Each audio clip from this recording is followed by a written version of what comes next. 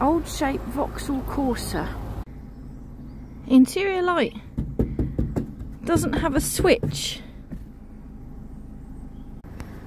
Well actually, it does.